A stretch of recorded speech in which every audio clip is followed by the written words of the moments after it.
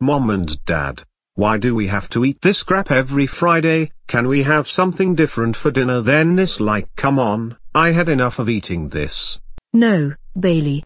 We prefer the way it is now, so shut your mouth. You know D piece of shit.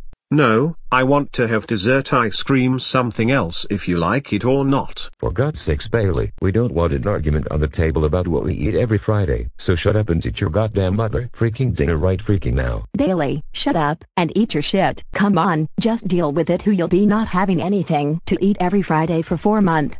No. This is really so much boring, I want to eat anything different or I will knock down this table. Bailey, get your stomach bowl on your damn sit down right freaking right now you Big Mac's trouble brat.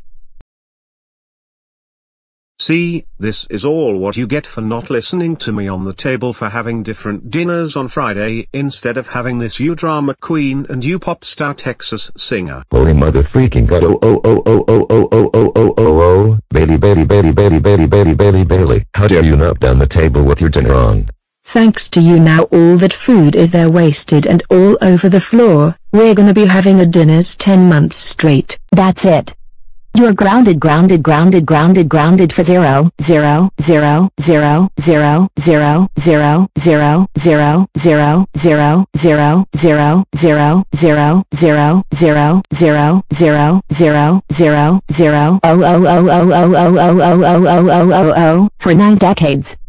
Now go upstairs to your freaking room right now, you bastard. Wow.